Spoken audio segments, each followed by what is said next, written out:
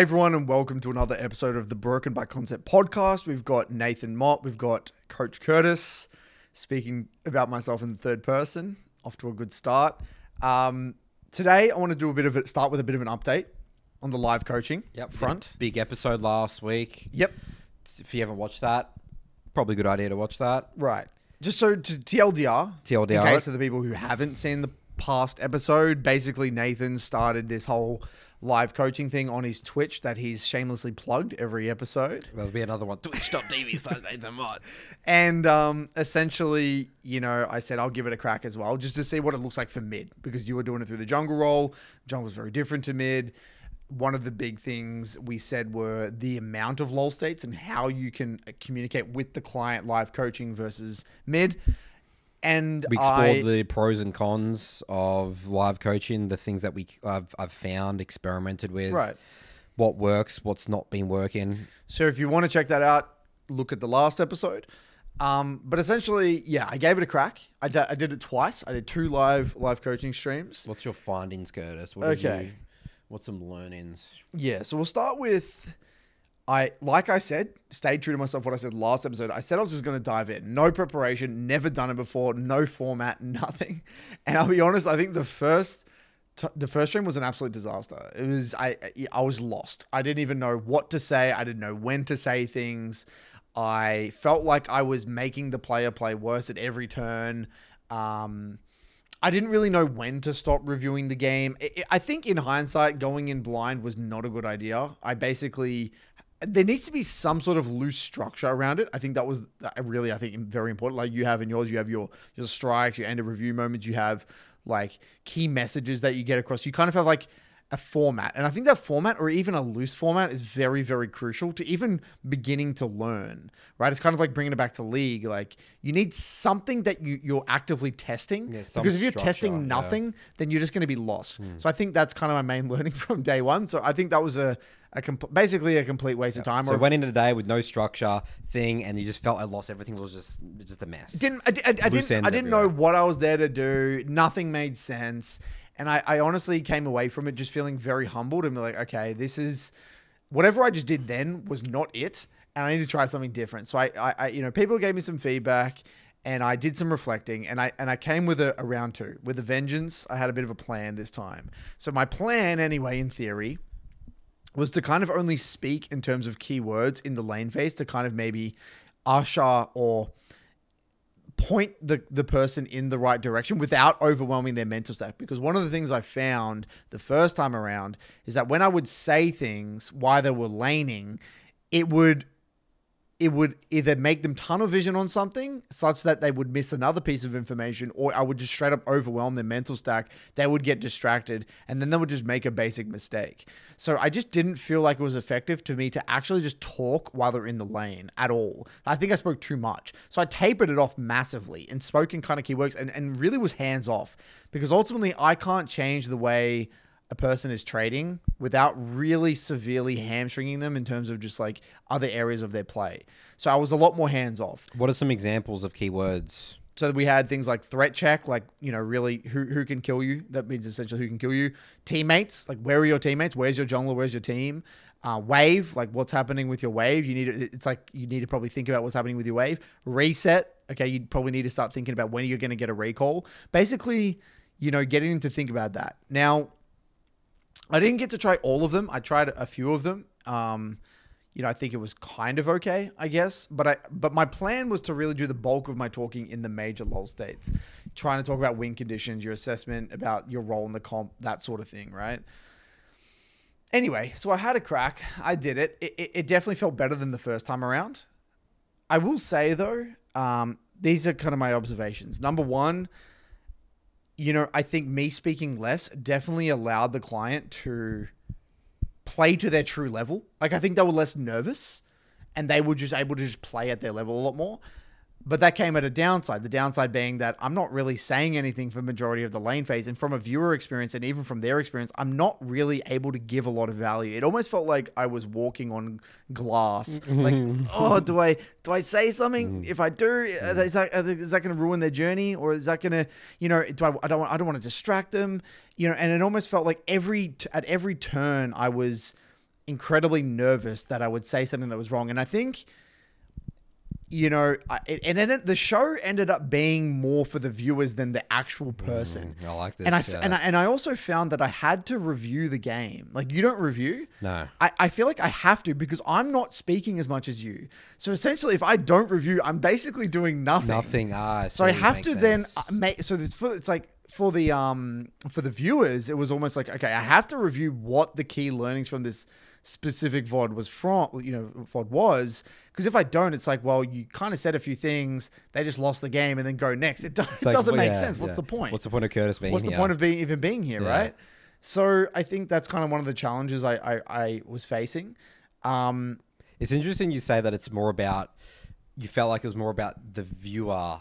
Th- th- That's actually where my frame of mind is actually starting to evolve to. I'm going sort of down this different route. So I used to be like about, you know, how can I give value to the person that's on stream? But now I'm actually moving forward, sort of thinking about this is more of like a, you know, you know, the we talked about the episode about the medium is the message. I'm sort of trying to fit Twitch into how I can make it entertainment and like coaching in a way. And sort of the way that I've sort of been visualizing is that you've got the gladiator arena, the Coliseum. You've got the Twitch chat saying end of review strike and all that sort of stuff. And like they're thinking about like the potential mistakes mm. and like saying, oh, Nathan, you should do this, this, this. And just getting the Twitch chat to think about their decision making. You know, it's like, okay, what happens if I was in Nathan's shoes, you know, teaching that? So I'm actually, I feel like by my frame was actually, how can I actually get the Twitch chat to coach the person that they're not really directly coaching, but they're thinking about the decisions that I'm making. So I'm sort of moving away from like, it's about the person on stream. It's actually about the Twitch chat. Yeah, The no, people that are watching. That's actually where my frame of mind's currently. So I'm actually going down this, this rabbit hole the next couple of weeks. It's almost as if the client getting coached is kind of the sacrificial. Yeah, the sacrificial for the greater good for everyone else to get the learning, which is a little bit weird. It's very it? weird, isn't It's it? That's a weird dynamic. It's, not because people come into my stream and so they're excited. shocked. people, people No, are no, no. People excited come to to my coach. Oh, people are excited to get coached. Yeah, it's a novelty thing. You It's know a how you know how you said it's like an experience. Hmm. You know, you're in, you're playing solo in front of a big audience, right? You know, but people come into my Twitch chat, right? Just new people, and they say. What the fuck is this? This is what a waste of time. Is it? Are they, is the person like just? Why do you not just reviewing and stuff like that? And then you know, I'm things like yeah, you know, like I think you're right. I think I think I'm what I'm trying to do here is more for the Twitch chat itself. Mm. So again, it's, it's really I'm actually really excited. Like I'm going down this extra. Mm. Like I'm really excited to see. We'll put a pin in this, see how this evolves in the next six months or so. I probably won't. We probably won't talk about it again for the podcast Yeah. for a while. Um, but that's again where my frame of mind's going. It's how can I make it more for about the viewer rather than the person themselves. Give value to the yeah. Yeah, and I, I think that you know the feedback that I got, and even just you know people who watch your stream, I think it really allows you to see the reality of solo queue. I think in, in a really unadulterated, unfiltered, no bullshit way. It's like this is what the gameplay looks like. This is what you're going to experience. This is the type of mistakes these people at this elo bracket tend to make. This is the level of play of the average player at this elo. You know, it's kind of like a full in-depth look at what it really looks like. No bullshit, because no cherry picking vods. Right. Nothing. And I think that it does have that benefit, right? Hmm. Which again, I think benefits everyone else in in, in the stream. But you know, looping back to my experience, I the the the overwhelming feeling I had during it, it it's just like I'm not. There is so much downtime. You know, I, I, look, I'm going to preface this by saying I'm not. It is. It would be a skill. Life coaching is a differing skill. It is straight up a differing skill. It is not the skill that I've developed. Um, so the question then becomes for me: Is this a skill worth developing? Is this Great question. is this is this a worthy investment of my time? Is there, you know, the way I'm viewing it, every hour that I'm putting into this, it's like, hmm, well, that's an hour where I could have actually made a better, like a, a video or a piece of content, or concept or something. or something else. And uh, every time in the back of my mind, I'm thinking, yeah, sure, it has some entertainment value. Yeah, there's an there's an element of getting the community involved outside of our programs, which is stuff we don't really usually do. You know, I guess there's an element of like you said again, getting an in-depth look at what the real League of Legends experience is. Speaking from a mid laner's perspective, it's not it's I, it's not for me, hmm. and I'm not going to even speak for all mid lane coaches. Just for me, it's not for me. I, I don't I don't enjoy I don't enjoy it. I don't I don't think the medium is overly effective for mid lane. I think that I don't want to say anything because I don't want to impede their play because I know for a fact it will. And the marginal benefits that they will get from me giving them advice about stuff, won't outweigh the downsides, nor will. And again, there's just too many, too many, too many moments where they're in action where I don't want to say anything, and that's just that's just how I feel. And so my gut feeling is that it's just not an efficient use of time, and there are many, many more effective ways to teach mid lane specifically. There's many better things. You know, and I'm just spitballing. Like people say, well, what outside of coaching? Like things like compiling a bunch of situations like quizzes. It's like, okay, here are 10 situations we're going to break down and getting the, the, the, the Twitch chat involved. Like this was an idea like that someone said, like maybe you get all these VOD questions that you've answered in the past because, you know, you know, we have our VOD questions channel in our discords make these into like kind of um, you know, uh, who wants to be a millionaire type thing. This is the clip. You've got A, B, C, D. okay. Get the, the Twitch chat involved. What would you guys do? So that's kind of an idea that I'm playing like a with. game show. like a game thing. show where it's like different because mid Oh, lane cool. Mm. is a lot about all these decisions. Like, okay, what should we do with the wave here? What should, should you know? What should we be going for this roam here, or should we not? Like, like that's something that I can get the, the community involved with, but doesn't require me to just sit there and impede their play. Because I think mid lane is, you know, it's interesting because junglers, I feel like you want them to think more and you want them to to be more active. For mid laners, I think it's more. I just want them to be more intentional with things. Like I want them to. I want them to think more, but I want them to think more after the game in a way. Like I want them to really make sense of like what are the real consequences of your decisions. And I and I don't think you can get across that that well in in in the game. It's more of a post game. I really truly believe in the post game. So um, that's where I'm at. I'm just I, I, so I think for me that ship sailed. I've given it a crack. I felt it. Yep. It was worth a Which try. is interesting because that is what we thought would probably happen. Yeah. You know, we discussed that. Like, we think, I don't know if this is possible for mid lane because there is way less lull states. You're not hitting jungle camps. That's right. The- Look, so people, I know people have been referring me to Bwipo. So Bwipo, have you seen hi- how he does his? No, I haven't. So, So- top laner. Yeah, so Bwipo does top lane kind of coaching, and I think he does. It's like a package. Like you pay like a, a decent, amount, like three hundred bucks or whatever it is, or two hundred fifty bucks or whatever. Um, and then you he does like a pre-game like chat, like about theory or OPG, I don't know, something like that. Then he does the VOD, but he's like not super hands on, like like like kind of how Oh, you mean like he- they play the game? They play the game. Okay, he li- he does yep, live coaching. yep. Like again, he's not super like hands on, but he'll say things to help you, and then they review it together Hmm. or something. It's like it's like a multi step thing. It's like a whole The package. whole yeah, package. yeah. Like that's like another way of doing it. You do the Yeah, you I do like one that a person lot. at That's a time. really cool. It's like an in depth Yeah. one person at a time. Like you do maybe one person per stream or whatever the hell it might be. Um, and that's another way of approaching Yep. it. yep. Well, So- that's that's again what we said that live coaching was like a comp compl- a compliment. It's a compliment to the review. the review. Yeah. You can't skip on the review. Yeah. you know that's like the whole package you know um but yeah that's an option as well these are all different options all i'm going to say is that for now i'm ruling out the whole live coaching thing Love it. yep so that's where i'm at So put a pin in it. Yep. I'm gonna keep evolving my little gladiator coliseum arena me- method. Yep. Uh, but yeah, I'm, I enjoyed it, dude. I love it, dude. I actually have so much fun. i think that's really important i think it's so important that dude, I do it for four hours every day. i don't dude. even know how you do that dude I'm exhausted, dude. You must be I always I do like a dead. protein bar like in between. It's good. It makes me stimulate my brain, dude. It's, Yeah. it's fun. It's Yeah. really fun. it's crazy I don't know if it's just I just love jungle that much, but the jungle decision making again, it's very different to every other role, isn't Mm. it? It is. It's a. It's a. Again, all the all the lanes are mini games inside the game, Mm-hmm.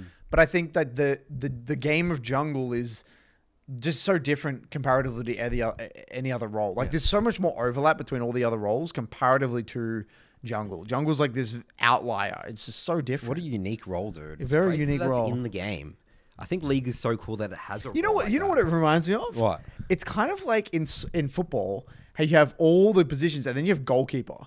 Yeah. Yes, that's a good. You know, it's like yeah. goalkeeper. It's like yeah, I- guess there's some kicking, you know, and there's Yeah. some a little bit of passing and stuff.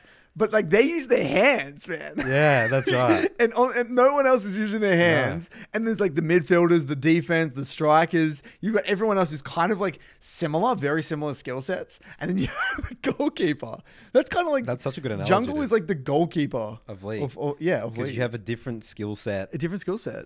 Completely. You're viewing the game differently. You're just yeah, you're in a different. Well, it's the same position. even as in, in, in a lot of sports. Think about it, it's like the quarterback in a way. Mm. The quarterback, it's like it's such a unique role compared to every other role on that on the on the Mm. field, right? Different. It's like this outlier role. Kind of cool. It's cool. I'm excited. I love I love that I'm a jungler. All right, so live coaching. There you go, guys. That's an update. All right, Curtis, we'll move on to a bit of a little mini solo queue update, Curtis. I want to share with people my experience over the last couple of days. One, so then people can re- more relate to us because they think, again, they think that you and I are just some sort of like ascended, you know, perfect mental monk gods. You know, You know, I'll say this in our programs, Yeah. they don't. The, I think the, the general public. Yeah, the general public I think in, in our programs, Yeah. when because we stream, uh, I don't know how often Yeah, I you stream stream, my solo queue, stream yeah. solo queue. Like people see me like go like zero six on stream and shit. Yeah, yeah. Like I think in our in our uh, communities, they know that we're just humans and we're not like, you know, we're just having a crack. we're just having a crack like everyone else, right?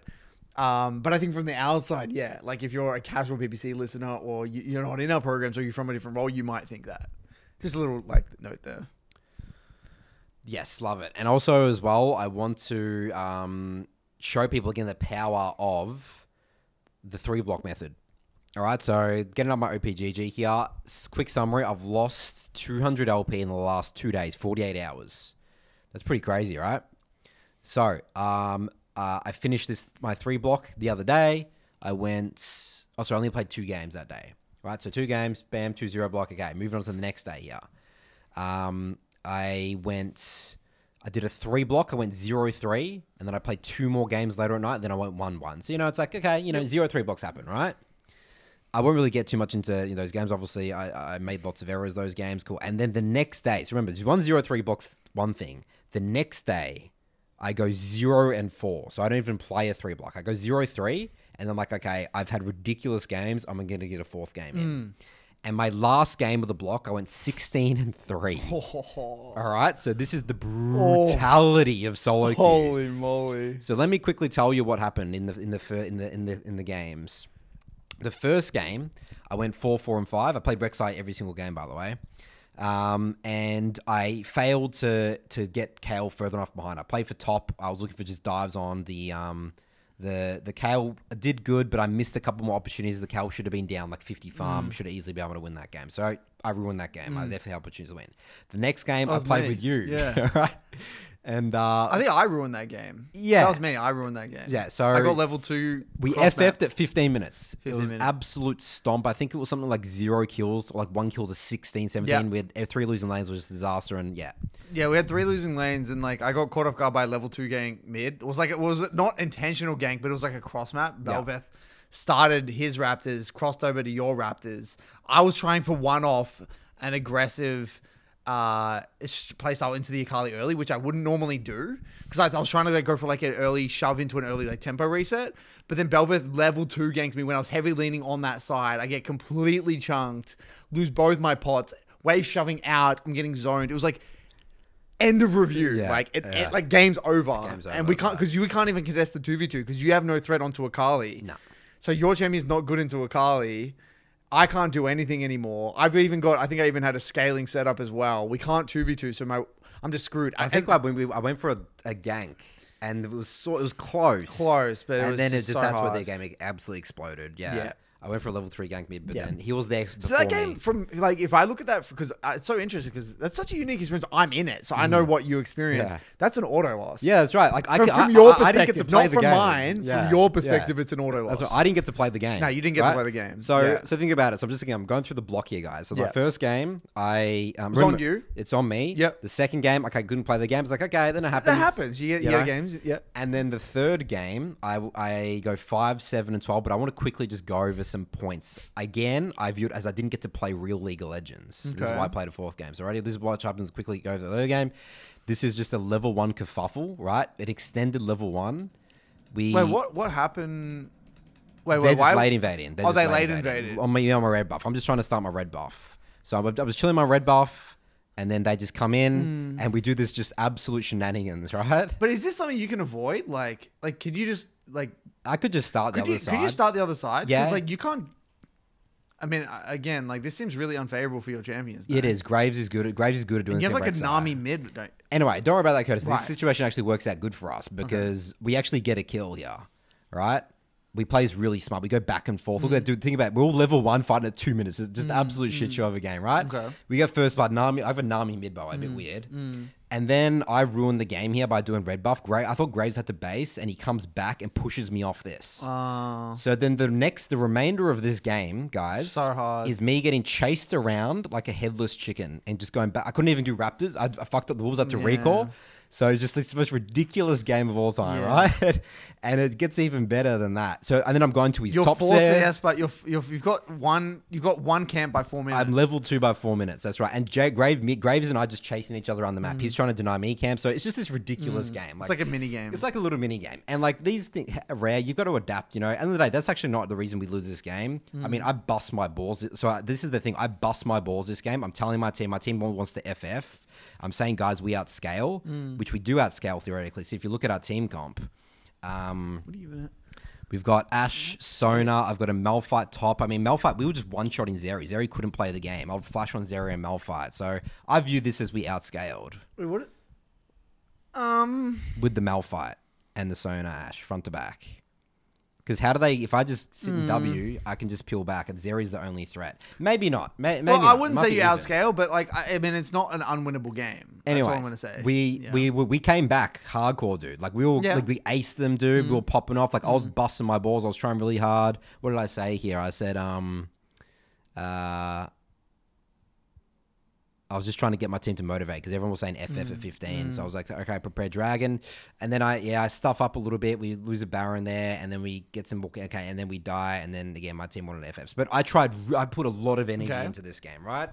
And beginning, it was a really weird game. So this is my third game of the block. I'm now 0 3. I'm like, okay, Mm. I didn't get to play that game with Curtis. I felt like that game again, I didn't really get to play properly as well because I had Nami mid. It just didn't feel like a normal game. So it feels like so this far you've had kind of like one game out of three that's Three. been kind of felt like it was a, a game of League of Legends. That's right. Yeah. So then I get my fourth game in here. Yeah. I'm like, okay, I'm going to really focus. I'm going to bust my balls. Mm-hmm. All right. I actually didn't get to, I forgot to record it. So I have to go into the replay here. Um, so how are you feeling mentally at this point? I was fine though because I played pretty well in that Mm. third game. Like I'm doing as much as I can. Like I'm, I'm busting my balls. I'm playing at my skill level. Like I'm. I feel like that tilting for me, unless I'm playing, I get I'm playing those support blocks. It, I don't really think I tilt that much anymore now. Like everything in the game makes Yep. sense to me. All right, now I'm just gonna go to a screen grab here. This game, I'm began busting my balls. I'm 10-0 on my team. Right. Yep, your balls are well and truly busted. I've got an Ezreal uh, Yuumi, you know, so you think, you know, that's insane scaling. The enemy brand's 0 and 10. um, this Talon here is sort of keeping them in the game. He's done some really smart picks and stuff like that. Yep. Uh, we get Baron. We get Baron, basically just really simple. I don't really have to go over too much. Um, we go for a push for this inhibitor.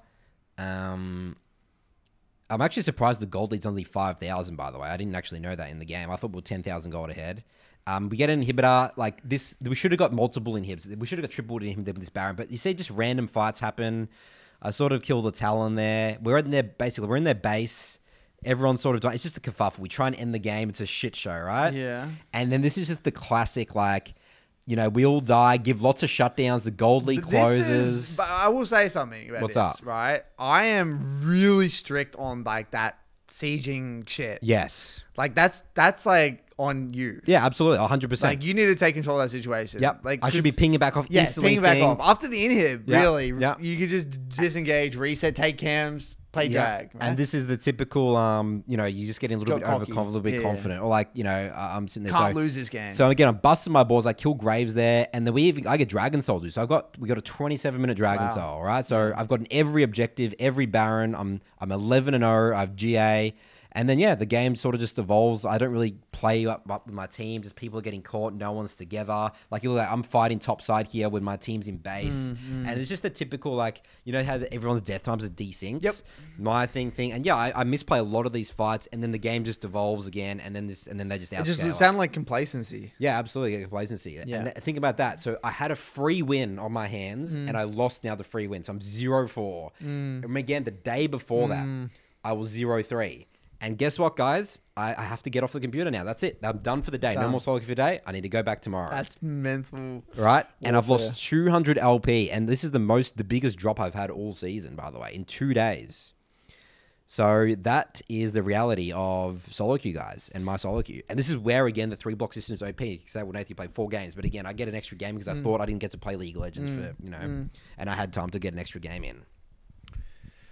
So, what do you take away from this, Nathan? Um, What are your takeaways? takeaway What are your is- learnings? Well, obviously that one's good. You know, you don't get complacent.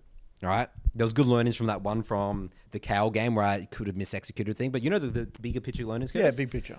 back to work tomorrow. You know, that's it. Mm. This is it. This is the ranked journey system. At the end of the day, I'm reviewed on my games. It all makes sense. You even talked to me about the Talia game. That made sense. Yep. I was a little bit confused with that game, so you telling me what happened Mm. helped a lot. Because then I could tick off that one. And it's again just back to work. I'm not having some mental explosion. Oh my god, my season's Mm. over. I've lost 200 LP. I'm never going to get back back to challenge again. Yeah, it like it's very difficult for me to now win 3-0, 3-0 and get all that LP back. Like this might I might be set back in LP wise theoretically maybe another 2 3 weeks. But there's nothing I can do about it. Mm. Uh, you know? You know, I just got to keep chipping away. Yeah, no, I love I love that you share this because I think that this is again the, the brutal reality of the solo queue journey and that people watching this need to know that they're not alone in their struggles. No matter how smart you are about the game, no matter how good you are at the game, like you see pro players go on lost streaks, you see people like, you know, us like full time coaches essentially going on lost streaks. Like the game always has a way. We said this the other week. Like the game Oh, always has a way you. of humbling you Absolutely. at, at, at every turn. And yeah, I think it's really, really good that you share this. And I'm sure many people watching this resonate. And again, this is where people will get broken. They get broken. This yeah. is where people go onto new new accounts. My MMR is probably a little bit messed up now. Um, my gains are going to be you know ruined, whatever people say.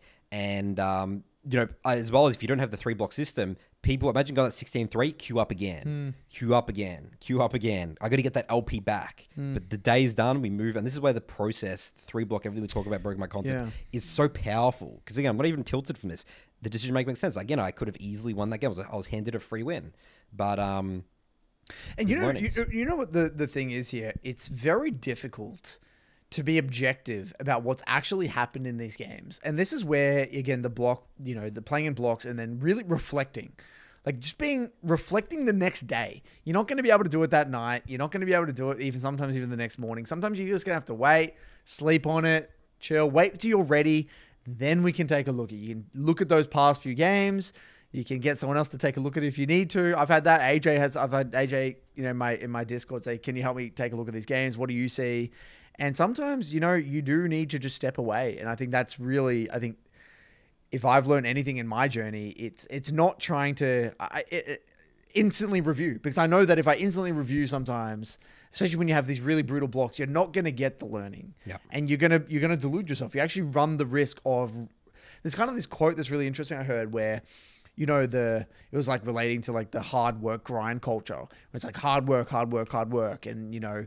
Um, in relation to league, you know, play, review, play, review. Well, if you're working really hard, sometimes you're working really hard, but running in the wrong direction. So you think you're running, you're doing a really good job by running, sprinting really fast, but you're actually, you could be running in the wrong direction. So you actually could be setting yourself backwards. And sometimes if you play and review without reflecting, what you're actually doing is instilling bad habits because you think there was one reason why you're losing, but in reality, it was a completely different, other yeah, reason, you yeah. know? And again, you think you're fixing the problem, but you're just blind. doing doing more damage problems. to yourself. Yeah, right. hundred percent. So yeah, I love it. It actually reminds me of a quote someone um, said in response to I think it was the last episode. You know, we we're talking about how uh, kind of wishing or not like hoping that even hoping that the games are hard in a way, right? Or the journey's Hmm. hard. There's a quote. It's something like I'm going to butcher it, but it was something along the lines of.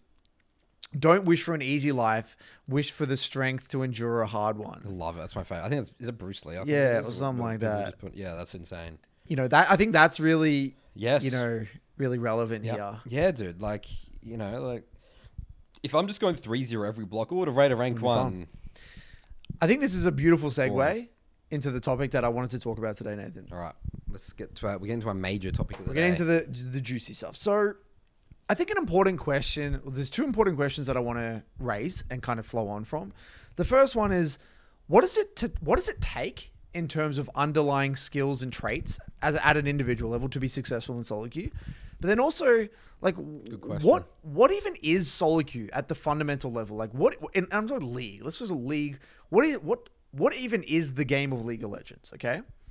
So I want to start by talking about, you know, there was a, a term I heard. Life, and you know, I think this was actually in in reference to war, right? Well, this is again th- a throwback to Jono and, and Jono, our mentor back in 2017.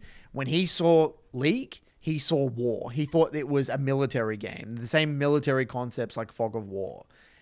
A term for war, that people say, or when they try to describe what war is, it's actually a complex adaptive system with feedback loops. Okay.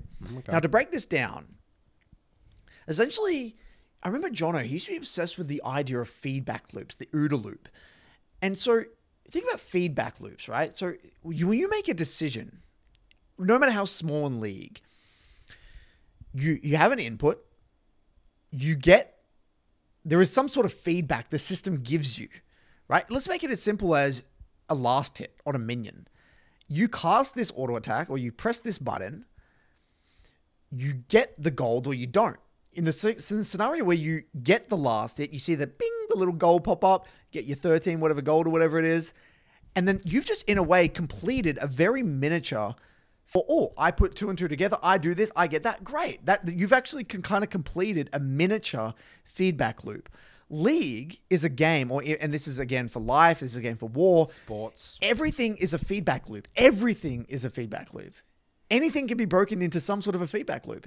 And this, is, this ties into a deeper discussion about dopamine and how you, you do something, you get some dopamine, and that reward, it's like a reward. Uh, a reward system, right? Or like a pain reward system, pain pleasure. Right? Everything in a way is kind of pain pleasure. And so, anyway, that's like, I want to just raise that, like that framework of thinking of the game, thinking of league in terms of these feedback loops.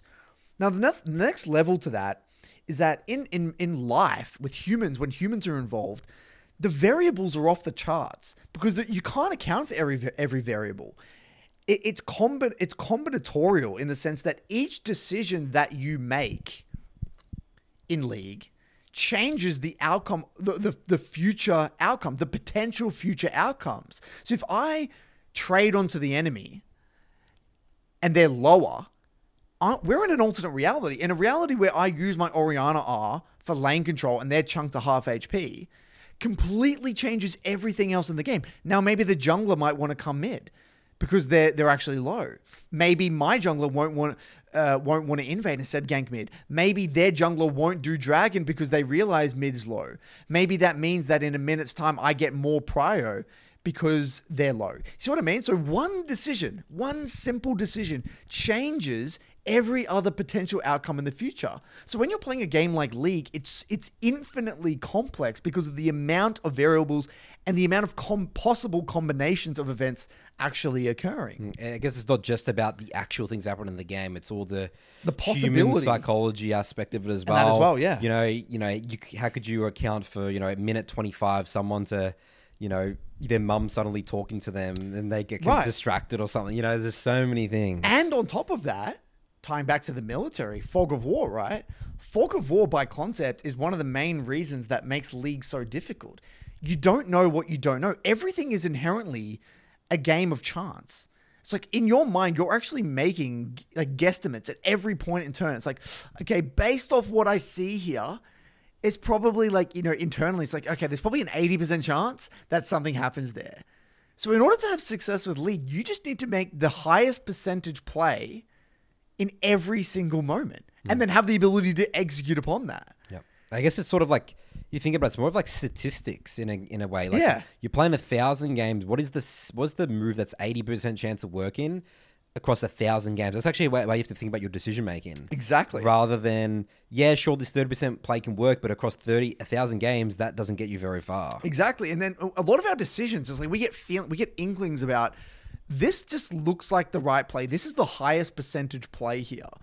And it doesn't mean it always work, but we know that if we in in this situation a 100 times, this decision, the fundamental decisions behind like the variables that you considered and the way you came to that conclusion will lead to success mm. in the majority of games.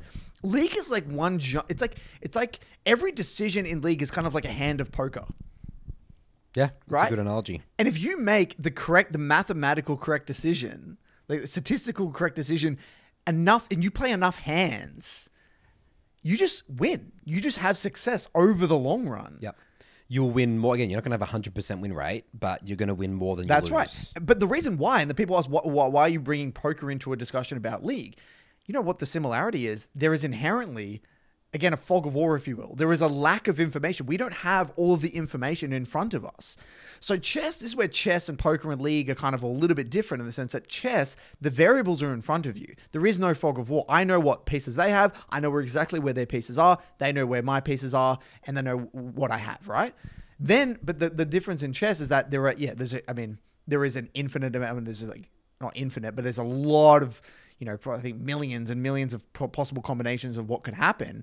But then also there is that combinatorial, or there's that kind of human interaction, or there's that that that uh, combinatorial type aspect where I make a decision that's going to influence their decision, and then you, you, could be going down a game that you've never played before. It's You're like in a, a scenario that yeah, the board is in a situation that you've never seen before. That's possible, and that only happens the deeper the game goes, and that's the same in League. Like in the early game, the early games are all you know, they can be somewhat clearer and similar because, like, oh, okay, you know, there's less variables at play, but the deeper a game goes on in, in a way, there's more complexity because like you, you may have never been in that scenario mm. before, you know? I mean, it's just simple, right? At level one, everyone's damage like a decision is very capped. You have one ability and then more variables, two abilities, level two, level three, level four. People are getting items, damage thing. Yeah, so it's sca- the it scales. The variables gets out of control. Yeah. And so um, so I think it's really important to to really what I'm trying to do is lay the groundwork of what really like if we distill what league is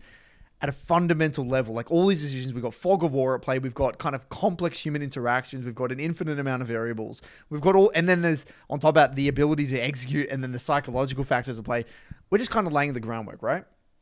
Now, as you know, as you evolve, as you get better at the game, you know, you need to be able to kind of confidently say, okay, I'm gonna. You need to be able to confidently stand on two feet and say, I'm going to do this. I'm going to make this decision.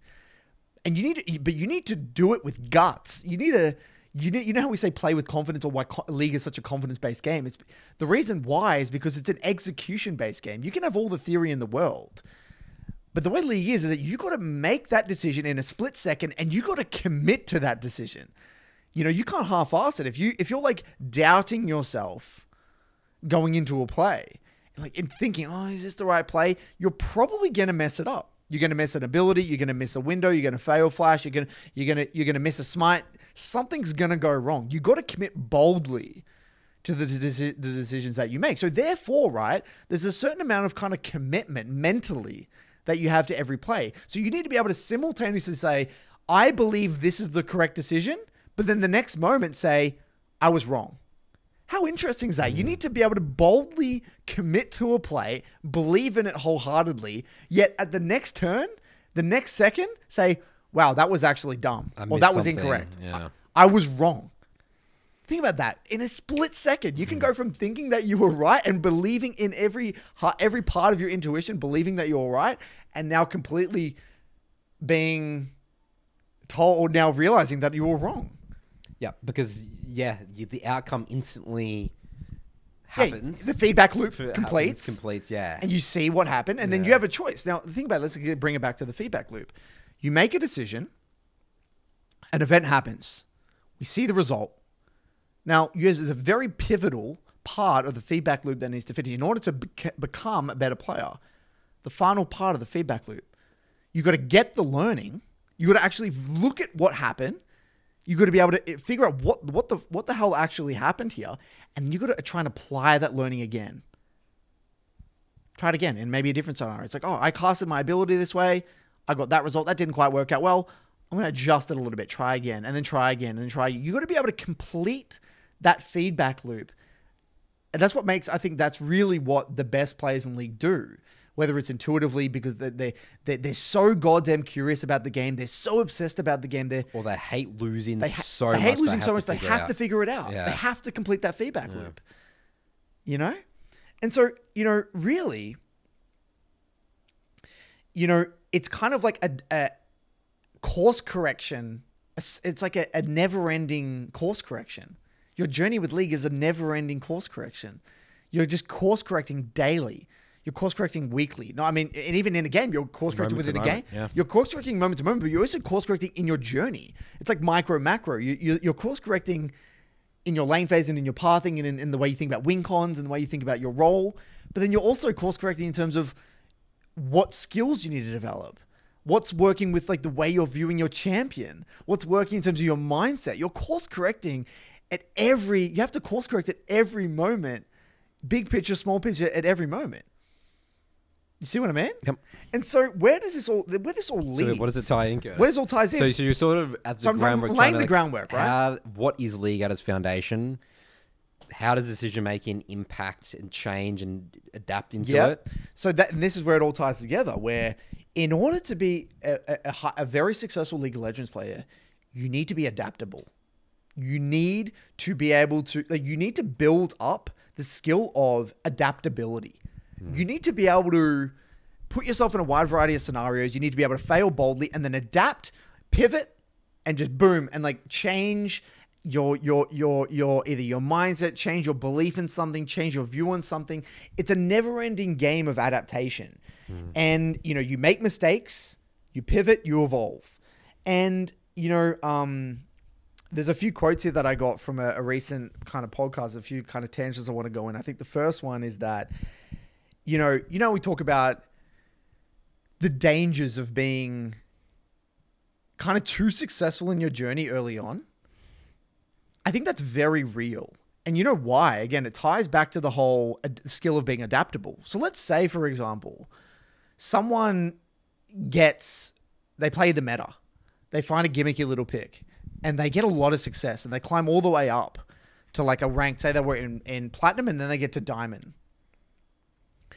But they didn't really have to Sweat for it. they didn't have yeah. to get, go through those really brutal feedback loops. They didn't have to evolve and adapt and be curious and and and and really like you know blood, sweat, and tears and really develop that that that kind of like grit. When shit hits the fan, they don't have the actual underlying adaptability to that skill to back up. They, they, they crumble. They don't have that. It's like it's like their, their house is built on sand. Mm. The, the the real long lasting success in league comes from that grit. It comes from that that that that that ability to adapt to whatever happens in, in whether you have that like you you're talking about before your z- zero three block into a zero four block. You know, whether it's that your champion getting nerfed, whether it's even in a game, you have a win con, boom, that win con dies, you got to you got to change.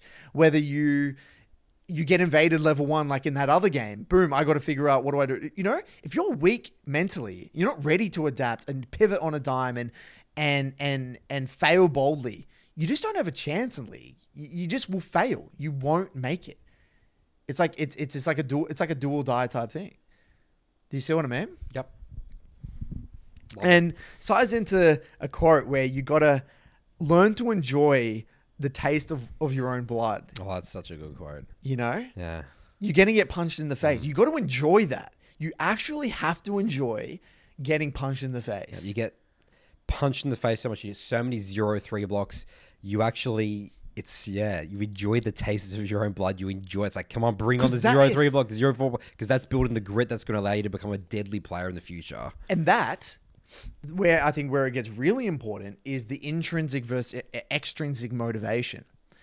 And and I think that really successful solo queue, like like if we're talking, I think long term successful solo queue players, they can they can have an they will have a sense of extrinsic motivation. There's no doubt. We all care about the rank. We all love that the challenger or getting rank one or whatever the hell. Sexy win rank. And all the best solo queue players, they, of course they wanted that. They don't just casually play the game and, and, and, and don't care about rank. Of course they care about rank. Of course they want to get rank one. But those players, I believe, the best players, that they they've got this intrinsic form of motivation where it's kind of like they're motivated by they're motivated by the learning of new things in itself. It's the it's the it's going into the game, figuring out some problems, expressing the, you know, dominating and then it's it's not the result, it's the way they go about it. It's the it's the it's the journey. It's even though it sounds incredibly cheesy, you know, like the whole it's the journey, not the destination. In a way, I, I truly believe that the best the best solo queue players they they're, they're getting that deep satisfaction from the It's like dominating a lane phase or something. Is that it's like the underlying skill. They get the Okay. satisfaction from the underlying skill, not the result. And uh, look, it, I think it's a delicate balance between two. I, I'm not going to say every player is only in you know the best players are only intrinsically motivated. But I think for sustained success, it has to be there has to be an, a, a huge a huge part of it intrinsic. You have to be intrinsically motivated. Yeah, yeah. I, I don't really know. It'd be cool to explore intrinsic motivation for the players, the top players. Because like think about like a faker, Yeah. right? Like like there's no way that if they were purely extrinsically motivated, that you would be able to sustain. You mean ex, ex, extrin- extra- if it was pure ex- extrinsic. Yeah, There's no way you would be able to sustain that level of. Yeah, I mean that's like where it goes down to like the money and like all that sort of stuff. He's the got money he's- and the fame. He had the title. He had the. mo- Yeah. You know, it can't. That can't be it. Yeah. It just wouldn't work. Yeah, There's something about the competition. There's something about the game. The I think it's the game. It's like the the love of playing the game, the love of competition itself, the love of whatever. I mean, there can be many forms of like Yep. you know extra intrinsic forms of motivation. Even just like the the and I think for us, I think we are in a way. You know, we're definitely extrinsically motivated by you know dominant trying to get high rank in the ladder. But I think I mean I'm not. I think I know for a fact both of us. We're obsessed with that idea of just like being competitors. It's like the journey is the destination, the process, the the putting in the blood, sweat, and tears. That's Yeah. the fun part. That is the fun part. Yeah. That is what makes it addicting. Yeah. That's a, that's the addictive part of League, Yeah. you know? And so yeah, this all ties into just getting great at decision making under uncertainty. It's all about adaptability. It's all about completing those feedback loops. It's about um yeah, I mean this is that's what I that's what I believe upon my reflection. Inspired by this this podcast I listened to um I think that's really what it takes. I think that's the future of League of Legends players. That is the future. We may not be there yet, and I think there's inklings of it, and I think we're getting there. But at the you know, if you really distill all the bullshit, that's what it's all about. That's what League's all about. And Jono was way far ahead of his time. He saw this. He hmm. saw this in 2017. Hmm. He knows that. He knew it. Hmm. He was spot on at every single thing.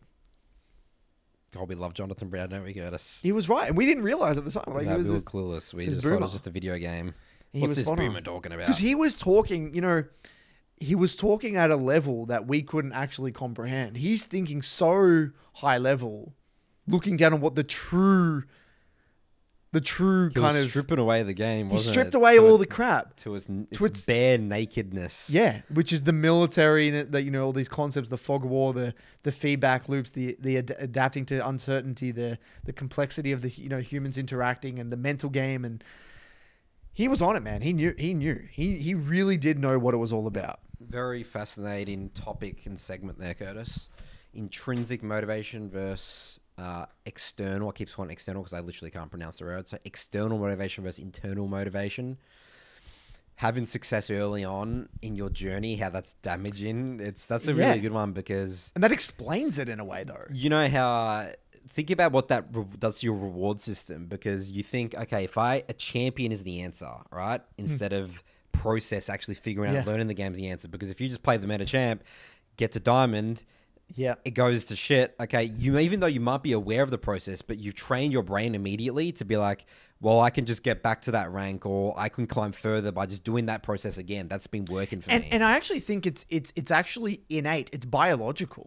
I actually think this is the dangers of smurfing, right? Buying a new account. It's actually biological. You've actually trained your brain to get that surge of kind of like dopamine when you're playing on a new account. You get that giant LP gain, or you climb those ranks. You're, you know, even though you're facing lower elo's opponent, whatever the hell it is, right? It's kind of like you're you've trained your brain to to kind of reward itself for doing that behavior. It's like you're viewing it as a positive in a way. And now when when we when the reality sets in and the pain starts to come, we want to avoid that. We're looking for a way out where we want to avoid the pain and go towards the pleasure. And the pleasures, again back to the the smurfing, the playing the meta or whatever it whatever it is. But that is fundamentally cheating the the true skill. It's fundamentally cheating the true skill. And that and again, you can do it short term, it will not work long term. And I think this is actually a, this is actually what explains. You know, we're talking about how we replied to that BBC uh, mailbag question last episode, and the guy wrote in asking something about um. You remember we had a discussion about uh, you remember he was like a, I think it was a, a top laner who got like high elo, and then was a one trick, and he's like, uh, he's asking, or no, I think he was a mid laner, and then um, he was saying like, should I, you know, should I expand my pool or something? And then we're talking about, he was a young kid. You remember the young kid, the high school Oh, kid? yeah. And then I spoke about Shern, Yeah. and I was saying how like there's this element of like real like curiosity and like really just thinking about getting better at the game versus LP. You know what that is? That's the difference between, you know, Shern had developed that grit. He developed that like he didn't need to um Prove anything to anyone. prove anything to anyone. He actually developed that ability. Once you have developed that underlying skill set, you're like in a way unbreakable to solo queue. Like you will always beat the solo queue system. Because once you have that that that that grit, that that adaptability, then it's just a matter of getting in the reps, and you're automatically going to be able to ad- get the new skill. That's what adapting adaptability is, and that's why adaptability. We believe in adaptability as like a, a skill for the or a trait of the new world in a way. Technology is moving so fast, the world's moving so fast. You can't be stuck in your ways. You gotta you gotta fi- you gotta figure the new shit out. Hmm. You know, and I think that's what Shern in a way has. He has like that. He's just got that curious childlike mentality where it's all about just what's next, what's next, what's next, what do I need to do, what do I need to do. It's not about what's happened in the past. It's not about LP or and it's just the game. It's just the skill. That's kind of what I think it ties into that in a way, you know. God, I love League of Legends. Oh, uh, one last thing I wanted to talk about before we move on to like the clips and stuff. I got sent this interesting little kind of paragraph. I think it was from an article from as a as a, as a uh, most dominant basketball players in the world at the moment. He, I, I'm going to butcher his name. It's like Janis Janis or Johnny Antetokounmpo or something, something like that. Anyway, there's a, a little bit of an article. I'm gonna we can I'll send you the clip. You can put on the screen. I'm just gonna read it out. It's a struggle, he said. Okay, we can make excuses. There's a new player, there's a new coach, there's a new system. We can keep on making excuses and think that it's going to be okay, but that doesn't work in life. That doesn't work like that. You have to figure out solutions, and right now, our solution is that, oh, we have a new player and a new coach, and oh, we're going to be better in game 40. No, we have to get better. We have to play together. We have to be more clear on what we're trying to get from offense. We have to be more clear in what we're trying to accomplish defensively and who we're going to uh, let attack us because you've got to live with something. You cannot stop everything. We've got to keep figuring out solutions. Right now, we're not there yet. Hopefully, we can get better in the future. But if we just stay with the mindset that we're going to get better in the future, we, we will not. We have to every day come to the court and figure out ways to get better. I believe that as a team, we will get better, hopefully. Now, why I think this is such a powerful little paragraph is that, you know, and, and what um, Eric here sent to me said, it's akin to league where simply following the process isn't really enough. We have to actively problem solve and be curious about how to improve and then and then practice the execution with purpose. You know, it won't just happen by itself naturally by doing three blocks you know, or having a small champion pool. Those things are necessary, but not sufficient for climbing. Mm, That's just the baseline. It's the fake process versus the real process as well. The substance. Yeah, the substance is the the mindset, the approach to the game, the view of the game. That's right. Yeah, I mean, at the end of the day, yeah, we talk a lot. We've seen a lot of examples of the podcast about people that that do everything that we say. They follow the three block process. They review every game. champ pool. So have a small champ pool. But yeah, the substance part of it, when they actually get into the details and break down the layers, you know, they're missing a lot Hmm. still. You know, view of the game's problem, relationship with the game's a problem. It's very easy yeah, to just think, oh, I'm following the process, just magical things are going to happen. You just roll, you just roll up, rock up, and here's another three block. We're gonna just rock up, and I got some learning objective. Nathan set me. I'm gonna, yeah, let's just see what happens. It's just like you gotta re- really be actively engaged. Intensity. That's Int- why we talk about play with intensity is so important. Yeah, and it's and it's tough because again, it's it's it's every day. It's like every time you're on the rift, you know, it's It's brutal. it's dude. brutal. beats you down. It beats you down, Especially when you put into effort and you don't get the rewards. That that's that's the thing that will just destroy your Hmm. ego. That's why we league such a good game at, at humbling you. Beautiful. You move to summoner school. Yep, summoner school time. Actually, no, today's not a summoner school post, Curtis. Today is a main Reddit league thread. Oh, wow. post. So this was a relatively big one this week. We're getting out of our comfort zone, Nathan. Yeah, so too big and Slush scary. uh, League of Legends. This was three days ago from the time of recording this podcast. This had 500 upvotes and 350 comments. And this is something we've talked a lot about this podcast, Goda. So maybe we just look more at the comments because we have talked about this on previous episodes. but We Okay. can do a quick TLDR. Let me just quickly change the camera one second. So the title of this post is Why Do People Talk Down Their Rank? There's always been a trend in League where people talk down their rank, no matter what rank they are. For example, a Diamond player will say it's easy to get to Diamond. In Diamond games, pe- in Diamond games, people will flame others for being hard stuck Diamond. The reality is, is is that Diamond is the top one to two percent. Being the top one percent in anything is really impressive. Meanwhile, Gold players will look up to Diamond and tell their Bronze friends that getting to Gold is easy. This attitude never stops, no matter the MMR. It's just not League either. Even when I was high MMR in Overwatch, I got flamed once for only only being top 500 and not being top 100. The truth is, if you're high silver right now, you're about average, top 50%. So many diamond players will tell you how easy silver is. It's a trash rank. But put that in the perspective of IQ. The top 1% is genius. So imagine someone going into your calculus class saying, lol, this is so easy. How are you not getting this? I did this when I was 11. That guy is just an ass. It's not always with bad intentions either. Some sometimes people will think it's encouraging to tell someone that climbing is easy. It's really not. It's just demeaning to tell someone that it's easy to climb. I always tell people that they can climb, but it's hard work. If you treat League of Legends like it's a university course and study it, you'll climb.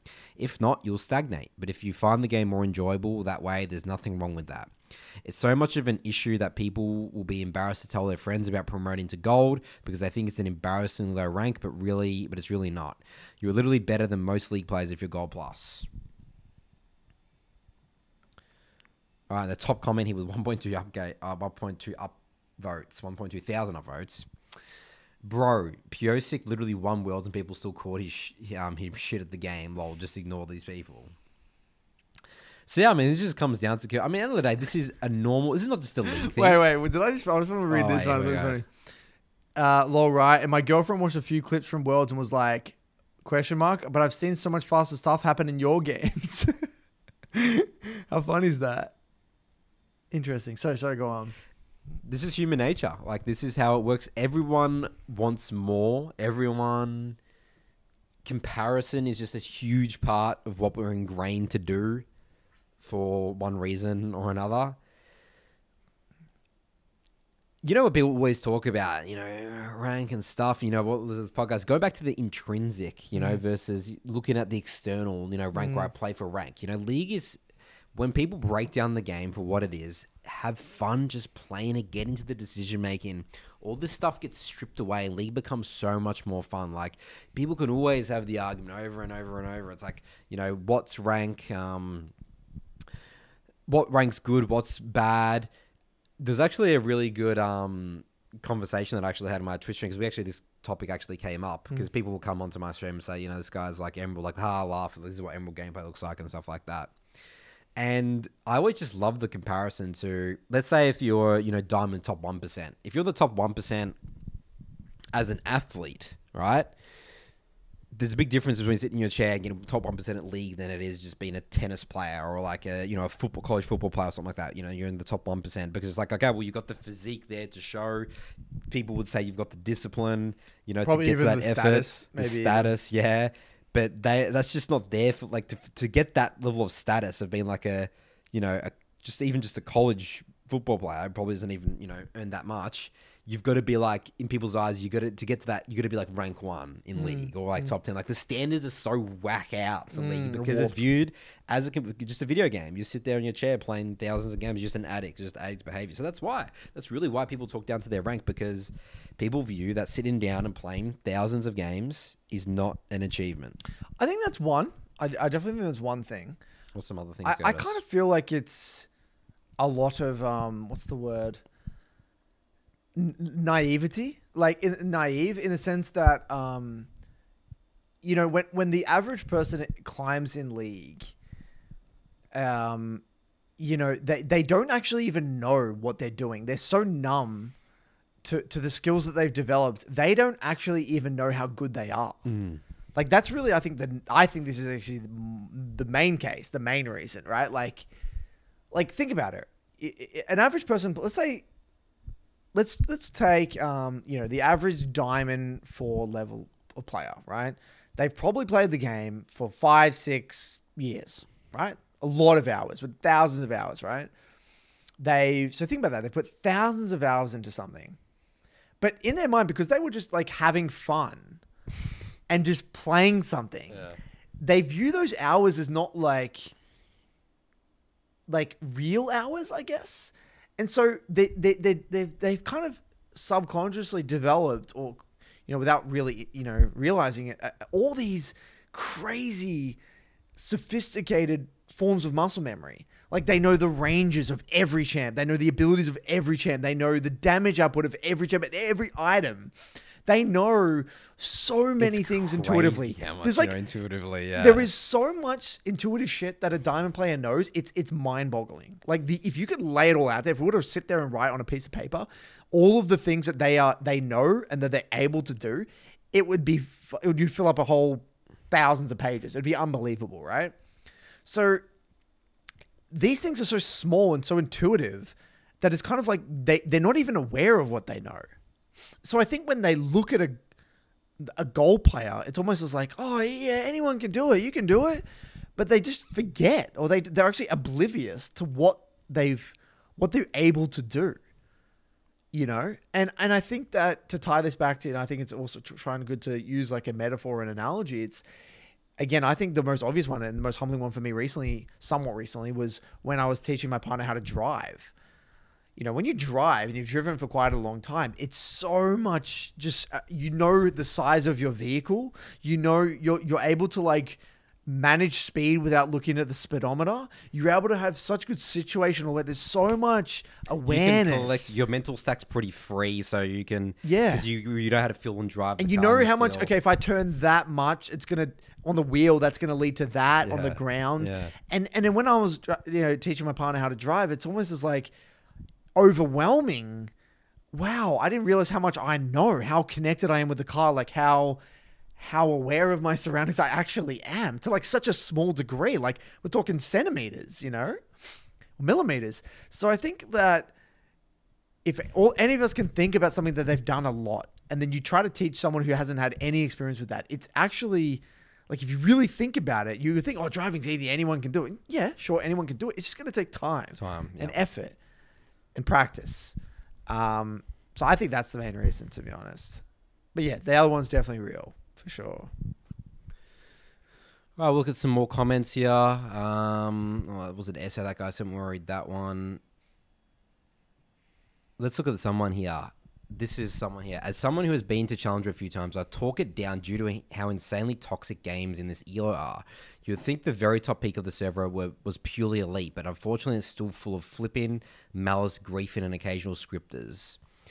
Uh, sure, take some time to get here, but it doesn't feel as rewarding as Challenger five to ten years ago. Main reason I stopped uh, ranked altogether. Feels taxing to play, not because of the mechanical tryharding involved. I'm trying hard to even remotely care about the game after everyone has threatened to uh, do F. some their interesting things to their. Uh, to the parents to the parents.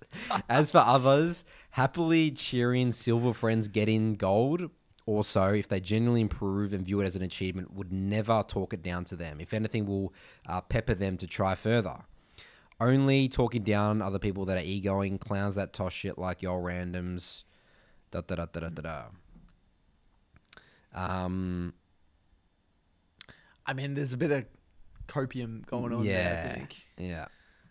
um yeah i mean it's interesting to get some different opinions I think there's a difference between people who flame you and call you hard stuck and people. Look, I, I think a lot of the whole da- also down talking as well. It can it can actually come from a negative place where it's like, um, it can come from like an ego thing as well. I think there is an ego element, right? It's like talking down on other people, like as if you're hard stuck diamond and stuff. It's kind of like makes you feel good about. yeah, it's like against yeah, Yeah. exactly. It's it, what's that what's that quote we always say about, you know, hate never comes from a hate never comes from above. above Yeah, in a way. no below. No, hate, Oh Jesus! I can't good. remember what it was. Oh yeah, hate never comes from above. That's right. Yeah, But they are above though. It doesn't apply here, Curtis. Yeah, actually, that doesn't make any sense. That makes absolutely that's, that's the worst fucking quote you could ever do. Curtis. You just stuffed this segment up.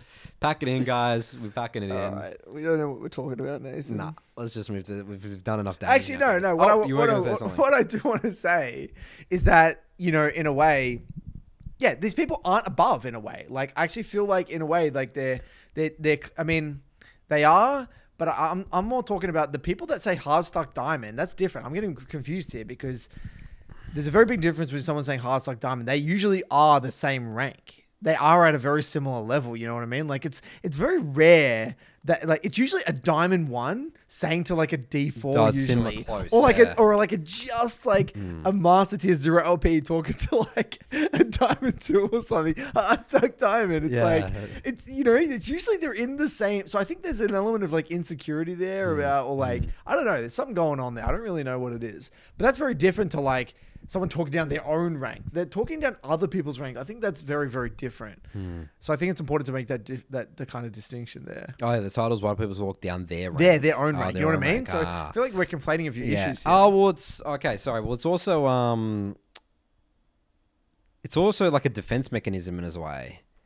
Yeah, that's what I'm trying to get across. Yeah. That's the point I was trying to get across. Because if you say my rank is bad, I'm Yeah. bad, which is why I lose lots of games, like it's kind of giving yourself permission to to suck. just to like yeah there's something there i don't know we need to think about this some more. I don't really it probably warrants a whole nother conversation in, in and of itself yeah no that's for another episode. we're not going to whip out the, the armchair analyst for today. No. All right, Curtis. Curtis, clip time. yep. Uh, let's get into the details guys. And welcome everyone to curtis's clip corner. All right guys. So we're going to keep it nice short and sharp and concise here. I want to talk a little bit about lane assignments lane assignments are deceivingly impactful. Right? Hmm. It's a small thing in the grand scheme of the game, but it changes. You know, we were having this discussion before about how like one decision changes the outcome or like the possible scenarios that you're going to be within. Lane assignments really shape the game. I have an I have a saying that I talk about with jungle. You know when your and your bot lane breaks the bot tower and they're meant to be moving mid or Yep. top. And usually what I see in lower elo is the bot lane just they don't know what to do. They break the tower to you, they stay stay bot. And the mid lane just stays mid. Yeah. Yeah. And what I say to them is, okay, no matter what I tell you, the game cannot progress. You can't get anything next until your bot lane moves out of bot lane. Mm, I love that. I use that word. Like, game can't go. Yep. What do you want to do about it? You can you can sit there like I can tell you what to do with the situation, but the game simply won't progress unless Yeah. that changes. Yeah, That's how important I totally resonate with assignment that. I say that all the time, and and then the, the the common one is like the feedback again. It's like, oh, but but what if they don't listen? And it's like just Again, I just I go, when they say that, I go back to the same statement. The game cannot progress until they move. So do with that what you see. Try and get them to listen. If they don't, That's it. accept reality. Uh, the game will not progress unless they move from bot. I, I just repeat that. And I'd annoy the shit out of people, but that's the reality. What do you want me to say? yeah, this is the reality. And like I had this game today where this Annie was five and zero. She's like the main carrier of the team, right? At this stage, and and what happens is that she TP's bot and the Shen TP's top, and simultaneously. Oh, the Shen should be bot, Yeah. and we should be top, Yeah. right? What ends up happening past this point is that um uh, let me just turn this out. Uh, What happens from this point is that like the game just doesn't progress, like you said, because now the strongest member is on the wrong side of the map, and then we just like I think we like fight bot, and then we just stay bot, and I'm like, you're the main member of the team. Now you're Vi. Oh, she's five and oh. Yeah, she's a five zero five Annie with like, yeah, this is ridiculous. And, and, and now the Vi is having to play towards the mm-hmm. Shen on top mm-hmm. side. And then the game just doesn't go anywhere. yeah, it can't go anywhere. It It can't, go, can't anywhere. You are the win con, and now you're sitting here trying to like pull Defend waves or whatever the hell you're doing. This looks on- like a Sion. Like I'm watching a Sion playing weak side here. and I'm like, the game is done. The game, we and, and I, I'm like, he's like, oh, but like, you know, he there something? But but but what if he doesn't do it? I'm like, it's a non-negotiable. Mm. This is a non-negotiable lane assignment. It's like, and, and you know what I said? I said, I would rather you go because well, no, he what he said he asked specifically is, what if I go top and he doesn't swap? And I said, I would rather you let Kennen end the game. Good, I love it. Give extremes because Yeah. that gets get the message through. Because obviously that won't happen. Just let Kennen end, End the, the base, game, end yes. the game, and stay top. yeah, agreed. I love that. I love that. That's such a good method in coaching. You got to give people extremes. Just give it an ultimatum. Yeah. You know? And I'm like, that's the only way to get it across. That's what I felt in the moment. It's a non negotiable. And I think that just in general, you know, getting people, I'm trying to get people a little bit excited about lane assignments and taking just being more proactive in mm. fixing lane assignments. I'm like, okay, this is not good. We need to, first of all, recognize that this lane assignment is not good. And then more importantly, what are you going to do about it? Because a lot of the time, I think people do recognize the lane assignment's not good, but they just they just go with the flow. They go with the flow. They just yeah. go they with don't have the the flow. intensity. With the flow. They're scared. Remember we talked about They're scared about of people saying no. They're Really, Well, scared of people saying, yeah, they're scared of rejection. That's obviously Yeah. a huge thing that we as humans hate. But also, like, if I say this and it doesn't work out the way, then I'm the one to blame. Right. We've talked about that in a podcast before. People refuse to make calls or want to be proactive. They'd rather be the sheep. they want to fail in a in a conservative safe- way, a safe, safe. way, rather than fail boldly. Face plant. Yeah. Do oh, I love you great. I love my metaphors, Nathan. Skateboarding is such a great a metaphor for this because in skateboarding you you have to you have to commit. So like if you're like trying to like say you're trying to like kickflip downstairs or something, if you don't 110% commit, it will never work. It doesn't work. Mm-hmm. You will never land the trick. You actually have to venture into the unknown, do something that you've never done before. And and you know what the trade-off though, the downside of that is you're going to when you fall, you're gonna fall badly. You gotta you, and that's what the scariest thing about skateboarding is, and why I had to stop doing it, is that the injuries that you get are inevitable because in order to to to kind of chart uncharted territory and to kind of unlock new tricks, you got to just absolutely treat your body like a rag doll. You got to be willing to break bones. You got to be willing. That's why all skateboarders break bones. You have to do it to unlock that that trick. And so in league, it's like you have to have that painful experience. It is unavoidable. You are going to lose the game off a lane assignment. Some guy is going to tell you to fuck off and, you know, not going to listen to you, and you are going to let the Kennen end the game through bot side. That is going to happen. Or, you know, it probably won't to that extreme, but like some negative experience is going to happen. But that is the most effective way to learn. It's the only way in a way to learn. And um, it is, is what it is. It's a non negotiable.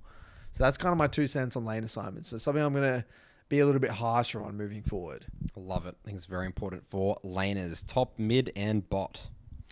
All right, mailbag time, Yep. Curtis. Away we go.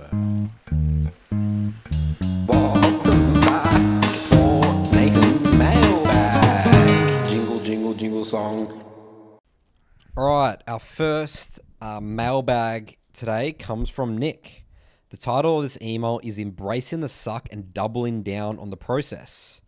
Hello, Nathan and Curtis. I've been listening to the BBC for almost six months and started playing League in December of last year. I really enjoy listening to both of you talk about the process of getting better. I'm a huge American football fan and love the behind the scenes of coaching football and learning about coaching in general. I feel a lot of what both of you talk about relates to all sports slash activities, not just league. My favorite team is the Nebraska Cornhuskers. For the past five years, they've been awful and completely aimless as, as a team. They recently got a new coach this year that constantly talks about the process and doubling down on the process when things get tough or when things are going good. Basically, always double down on the process. They released behind the scenes episodes after games, and one of the most recent episodes contained a shot of winter conditioning outside in the snow with a sign that says Embrace the Suck. Here's the picture of it. Oh, that's awesome. How cool is that? That's really cool. I'll put that other picture will come up hmm. on the on the video as well if you guys want to see the picture for the Spotify listeners. Instantly thought of the BBC and embracing the suck and conditions that you can't control. The team has started to turn it around already, and every time he gets any questions about winning or future wins, he always talks about earning the right to go 1 0 next week and getting 1% better every day with their process. I don't think they're going to be winning championships anytime soon, but as a fan, I'm very excited for the future and this coach. Is he a possible BBCR? He says, because of the heavy emphasis on the process. Every time I hear him talk, it makes me want to fire up league and get 1% better. Just wanted to share with you the similarities to the things you talk about and how it translates to a completely different area. And he says, P.S. I three blocked my way to gold as ADC, but stopped due to life circumstances. I'm hoping to get back on the grind again shortly and doubling down on the process. Love the podcast and keep up the great work.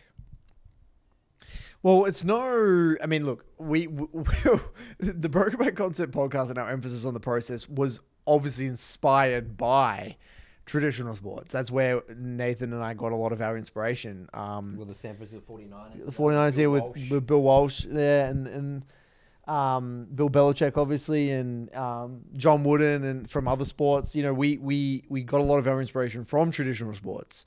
So, um, you know, and, and we, we, uh, we've always respect. I think we've always like really. That's what drawn us to NFL specifically was the coaches, The right? coaches, yeah, that's what you know Sean. McVay and stuff like that. Pete We- Carroll. Pete Carroll, Beast. You know, we just got really got obsessed about that, and we, I think that the that sport is just so sophisticated. Been around for so long, they've really figured shit out. They know how to learn. They know how to, they know uh, just how to improve at a very effective rate. Because you just, it's such a brutal sport. You have to like turn things around so quickly. Um, but yeah, I mean that's really really awesome, and I, I love the um, earning the right to win, earning the right to go 1-0. I love that earning the right, and like it's like earn. You have to earn it because that's true. That you have to earn the right to Every win. to every win. You have to earn the right for every kill. You have to earn the right for everything in, in league, like every little thing. I love that, and I, love, I just love the word earn. Earn is so good. It's you it's just such a powerful you word. sweat for it. You got to put in the effort, the work. It's not just going to come to you. Yeah, it's not going to fall on a platter in front of Yeah, you, in front of your feet. Welcome to sports and competition. That's what's so beautiful about sports and competition, and why it will never go away. It will always be part of human culture. That's right. Love it. Appreciate you uh, writing in, man. Yeah, thanks very much. And hope your team uh, turns around. Yep. Again, it might not be this year. It could be five, ten years, but it looks like they're maybe on track. Yep. I haven't even heard of that team by the way, so they must be pretty. No, I think it's a, a the, the the division Oh, below. I think I it's see. college. I'm Okay, pretty sure. got it. But I mean, I could be wrong, but Imagine if it's in the NFL, dude. It's, we got no idea. I think so. Yeah, I don't think so. No. All right. Next question here comes from Audrey. The title of this email is "Dissonance Between BBC Mentality and League of Legends." Hello, Coach Mott and Nathan Curtis, and all the listeners. First off, I just want to say I'm a big fan of the content you two put out and the work you do in the trenches with the coaching. But the past few months, there's been an uneasy feeling which has built up over time regarding the central philosophy of Broken by Concept and its relationship to the League of Legends environment. I'll keep it brief, but I ended up quitting the MLS and ultimately League of Legends as a whole from firmly believing the improvement process could be better used elsewhere. I failed my original goal, and I am not afraid to admit that. Fortunately, the end result has actually been a net positive, both in new gaming ventures, Street Fighter 6, and within my career. For these reasons, I still keep up with the content from you two. I think the mindset here is of extreme value. But, but, episode 169, The Lonely Experience of Solitude, is when the topic of this email all really clicked for me why I still listen to the podcast podcast while having moved on to other pastures. The perspective you two have regarding the game is of a hardcore, unfriendly, introverted experience as a medium to harshly self reflect, address ego, and learn what it truly means to improve. While League has the tools for such an environment, for the vast majority, it is not such a setting, and the and Riot and the Riot generally want to cast the biggest net possible, which means keeping it as a competitive game, but also keeping it as a potato laptop friendly social game. That to me is why there can be a discourse and thousands of people being upset about League losing communication features, while you two see the game as isolated self improvement, so that there are no issues.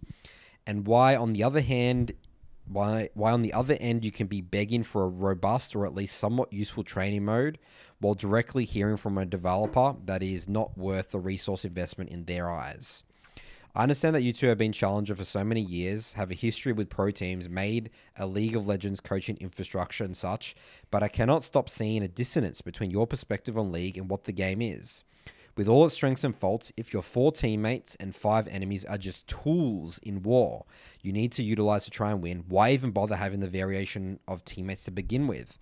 Why not just play intergalactic war game of StarCraft where you literally use colonies as tools in order to try and win? To me, the teammates are just noise distracting from the improvement process here, similar to RNG and card games. Why ask your clients to get into the details and replays and practice in a game with no tutorial and beyond bare bones training mode? Where modern fighting games exist with extremely in depth tutorials. Fantastic replays where you can custom record enemy actions to train against, and clean intuitive replay features which show high detail frame data. Why wait in queue and then draft, let alone possible dodges, when you can just load up ranked in a single player game and reach the actual match much faster? Why have a solo queue contract when you can have a much more abbreviated contract of if you lost that match, it's 100% on you. Seek to reflect and improve. Just to clarify, I don't think there is anything wrong with the perspective you two bring to League of Legends, far from it. But as someone who has not put in a decade plus of the game, I find it next to impossible to justify applying the process in League instead of fighting games, RTS games, Go, chess, etc. Aside from the sunk cost and feeling a responsibility duty to address the toxic slash uh, unhealthy narratives within the League ecosystem, are there any reasons you can suggest which make League worth applying the BBC mantra to over the competitive 1v1 games? I've, so I think this is very. Oh, I love this email. I What a great email. Really, really great. Thank you so much. Audrey, for writing this in. I think it's great. Number one, everything that we talk about on the BBC would be way easier to execute and way better to implement in a game like Street Fighter. 1v1. It, it- it is so it, you know games like Street Fighter, you know, these one v one games. You know, you the practice tools are super sophisticated. Everything is drillable. There's drills. You can do everything and anything. There's no no noise. It's all on you. It is a much more streamlined, much more user friendly experience. There's no denying that. Everything you said is objectively true. The reality, though, is that League is not Street Fighter, and they're different games. It's like comparing, you know, an apple with a, a cake. It's just like completely differing things. And so I think that the the reason is that we love League of Legends. We love the design of MOBAs. and the the four teammates that is part of the game. That is part of the game. So- So it's kind of like, yeah, it's like it's like why play? Why not? Why doesn't everyone just play tennis for a traditional sport? Why would anyone play a team sport. Why would anyone play American football? Why would Mm. anyone play soccer? Why? When you could just play, everything could be better. Like the, the learning journey, the drills, like it's isolated. Like you don't need, it's so much easier to, like logistically as well, like just 1v1. Everything is easier. You know what I mean? Like there's no, I mean, obviously there's the communication aspect and things like that, right? Which probably, you know, so that's why that analogy is probably not the, per, the most perfect um, kind of comparison. My, my, my point still stands is that just because something is easier and better in terms of efficiency of improving at something doesn't mean that one wants to play it. It's like again, League is a very very unique game in the sense that there are so many ways to express yourself. You could say the same thing about Street Fighter. There's many many characters, but then you don't get that. There's that unique feeling in League where you're just it's like it's like you're one person in an on a map where you got to do a lot of small little things that influence the way the game. It's like it's like a game of war rather than a duel. Like think of like Street Fighter as like a duel. It's like one on one combat. It's like, like it, yeah. it's like if we're gonna use the the real life analogy, it's like okay, me versus that guy. It's like fencing or something. Whereas like when you play League, it's like you're one person in a war, like in an army. It's, It's like cool. It's cool. It's like cool. you're like one person in a way, yeah. And and how you because like yeah, you might not interact with. The, let's say if you're actually in an actual war, you've got someone on the other side. They're Yeah. doing their own little battle, but you know you're all part of this one. Yeah. battle. Yeah, there's something about There's something that. about That's that. cool. Like even though there's not a social experience like that, and and I think what they're saying a lot is like why why do we have such a a individual approach to the game? Uh, you know, just why don't you just not do play other games? Yeah. But like we we have like having an individual approach to the game. That's how you improve. that's how you improve. But, But it not, is- It's not really how we're playing the game. No. No, it's it's. I think that people took it too extreme, Too like the way yeah. thinking about the game, like especially the way that I play the game specifically. I mean, it's a psychological approach to everything. Like when me and you play the game, we know, we actively know we have nine other humans in the game. Humans, people. We People know there's nine yeah, other people that have their own their own way of playing the game. Uh, their own agenda, their own psychological and mental state. We know this. We're hyper aware of this stuff. That is how you play league. We know who's tilted, who's snowballing, who's feeling good, who's likely going to carry the game. We know all this stuff. We're processing all this information. But for the sake of learning and getting across the basics of the game and it's it, it you know we we I I I'm not going to loop you into this. I use the tool because it's a very it was just a simplistic analogy or a metaphor to get across like you know viewing everyone as having a function in a game. Every champion has strengths and weaknesses and you can play to those strengths and weaknesses or you can you're not you can deny them you know? So i think that like again the the crux of this is that league is just a game that is fun for some and not for others. I really think it's that simple. And um you know there actually is no i actually don't even think there is a logical I'm not playing League for logical reasons, I would say. Yeah, no. Like I didn't logically choose League. yeah, you like broke down like this is the most optimal thing. I like individual experience. it. I like think it's just yeah, It's fun. yeah. It's just fun. I think that's it. It's like we need to play this game. We want to be really good at this game because we find it fun. Yeah. And then that's it. Yeah. And and I, but I will say in general there is something to be said about overcoming adversity. Like doing something that's incredibly difficult. Like you know, um, you know, being being great at a game like League is incredibly satisfying. Yep. And having more people in the game is more variables would make it, Makes it really, harder. really difficult, Makes it really hard. And that's fun. Yeah. And I we I love the mental I getting like the mental aspect of it personally. I mean, I've come to enjoy that. We've come to enjoy that. We've come to enjoy the the mental battle versus yourself. And look, and, and I, and I want to really state that. I want to make it be very clear here. And I'm sure you, you know you you agree with this is that league isn't for everyone. We don't want we're not here to this podcast is not about getting people to play league. Our goal is that people who are already playing league to have a better relationship with league and get more out of it. And, and if that means quitting the game that's success for us mm. There are because people we, we helped you identify that league is not the game we for you. want you to either go one or the other directions to if you're going to play league Either respect the game. respect the game and this is kind of the rules that you got to play and understand the rules of the game and actually like this is actually what I found in the MLS program by the way I actually had a conversation with this this morning that the biggest challenge I found with my below platinum program is getting people to actually accept the rules of the game hmm. like this is what League of Legends is about like actually mentally coming to terms with that idea that league is this inherently chaotic snowball oriented game where you have limited amount of control. Like like actually coming to terms and it's like the terms of condition of playing league. Solid contract. that is the hardest part about getting people results in the MLS it's actually not the, teaching the of the concepts. It's teaching, not the theory. It's it's, the not even the muscle memory. It's the mindset. It's like this is a fucking hard thing. This is the hardest thing you've probably ever done in your life and like just having but like accepting that. Once you've accepted the rules of the game then we can actually play and we can actually start improving you know? So i think that that's kind of tying into that. And like again sorry tying back to my initial point is that we want people to go one or two ways. They either you understand what the game is about and in order to have a healthy relationship what we believe to have, have a healthy relationship with the game you got to understand these things. Or okay, you know what the game's about, and then you realize it's not for you. We're happy either way. We want that to be the case. You either play it or you don't. There's no like kind of no in between, you know. Um, and so I, I don't want I don't want people listening to this podcast viewing it as like, oh yeah, we're we're Riot's marketing arm, and we want them to we're encouraging people to play League. Not really at all.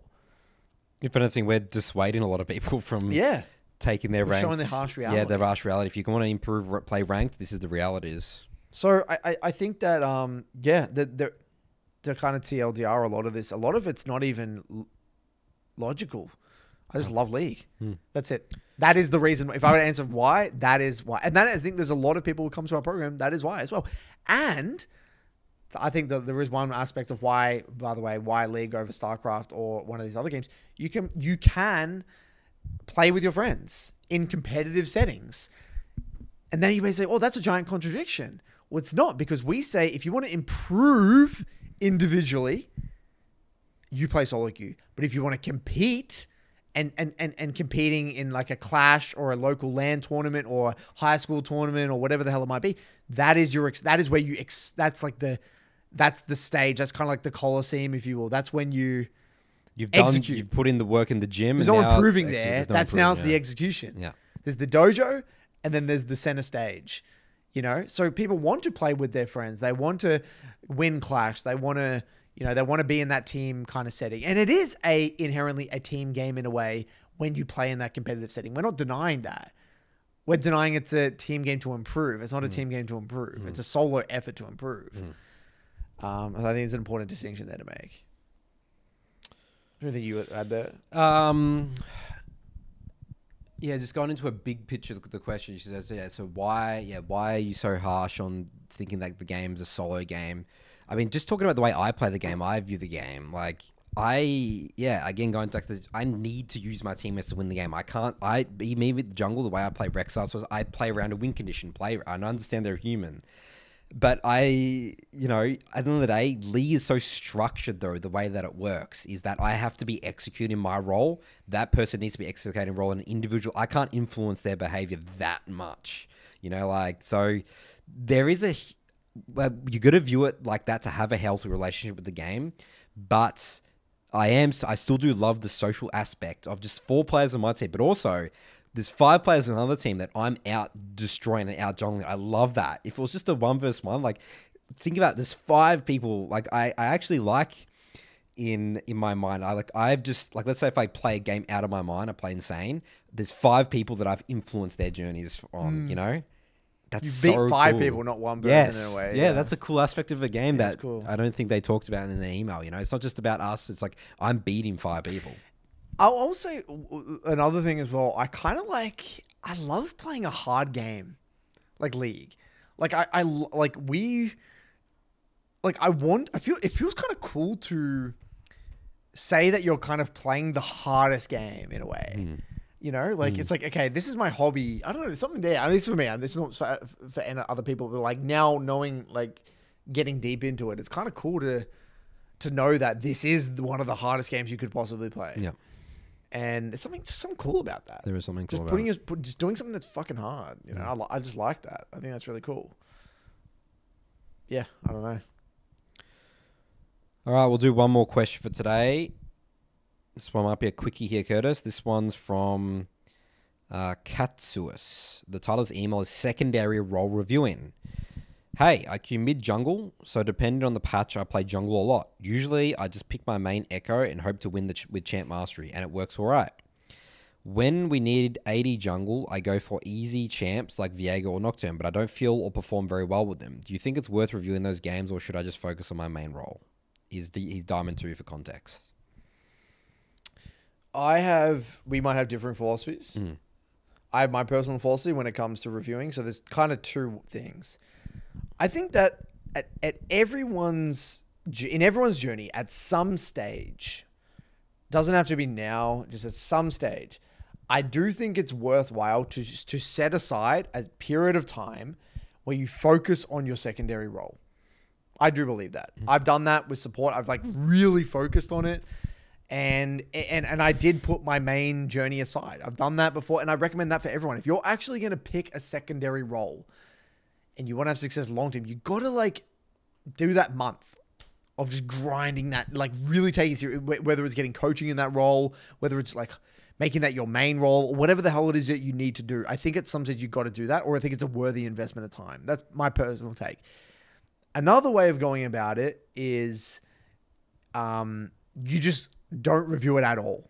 You're playing it so little, like let's say one in every six games or something, and it's like, all right, I'm just gonna play it bare minimum, just kind of basic, do my job, and then just really hardcore focus on my main role, and that's also fine. But I will say that that it definitely depends. You know, I wouldn't do one of the harder roles though if that was the case. If you want to do that, you're better off putting like maybe you know AD carry or support as your secondary role because then it's probably a little bit easier to just kind of like do the bare minimum. Um, but as, especially as a just fucking jungle, never just shit on those roles, because what are you talking about? no, it's easier to get carried in my opinion. But like getting carried as a jungler, it's like you're breaking the game. Like I feel like like If you're the jungler and you don't know how to play your role, You think so? I don't really think, think so. so. You could just play a farming jungler and then you Really? just yeah, dude. You can get carried and you could do I- be map impactful. right? And then I'm, and this is where I'm here to disagree. Mm, personally, Yeah. maybe I'm biased. I'm a, I'm a You're just mid laner. biased because you're really focus on your jungles. You, you when you when when a jungler gets gapped on your team that's Oh, yeah. jungle, that's a huge focus for It's a you, huge dude. focus. Every role has massive impact goes. What are you talking about? I'm not about? saying one has one, one impact or, or easier to get carried. That doesn't make sense. I do think it's way easier to get carried as a as a supporter AD carry than it is as a jungler. Personally, that's my take. I think it's so much easier for me to sit there and play Ziggs bot lane than it is for me to play any of champ that I've had competition with in jungle. okay. So I think if you- 100%. If you slot in certain champions though, Yes. if you play 100%. Karthus jungle versus playing Lee Sin jungle, that's a huge difference because with same with like Yeah, I would with, like, You know, agree. you know how people play But not e- supports. You know that- that's your Ziggs. right. Karthus would be your Ziggs for My- another role. my- you can okay. insert certain champions in roles that allow you to get Okay, carried. so let's get let's get even more specific then. I think my my take is that there is if we take the easiest to execute brain dead junglers hmm. and then we take the same thing but for support and AD carry. I feel like it's easier to play the brain dead AD carry in, in support than it is to play that brain dead jungler in terms of net how much you're ruining the game. Because okay, like the amount of times I and then I'm biased because I've seen this like in in you know you get like some autofill jungler, and yeah, let's say they say, "Oh, I'm gonna full clear on my Shyvana jungle" or whatever it is. They don't do anything. Okay. The jungler inv- impacts all the lanes, all this stuff, or they or they invade and kill them on their red buff because they don't know Rengar can in- per- vertical invade. It's like, well, the game's just fucked. Oh, okay, maybe jungle. You're just looking at it through the perspective, of course, like a Karthus just sit, somehow sits. Karthus is, by the way, not even easy. By the way, Yeah, it is not. I don't know that what you're talking about. Yeah, with no, right. sitting there, like the only junglers that, like, I think if you if a mid laner specifically was going to play jungle, it would be something like the, yeah, like an Ekko that just sits there and they could they've already got kind of champ mastery on it, Yeah, and so they can kind of secondary. skirmish with it already. Okay, because again, I think about top. I I, just- think about if you're secondary there, you don't have to put that much effort. You can play Malphite top, right? I agree with You that. Even top, I just think jungle's the worst. Yeah, maybe jungle is. I personally think jungle's You the might be worst to autofill. Oh, or to secondary role and just do nothing. I think Yeah. it's the worst. I think role. AD You're- 'cause you're carry ruining is the, more. the game for everyone. Yeah.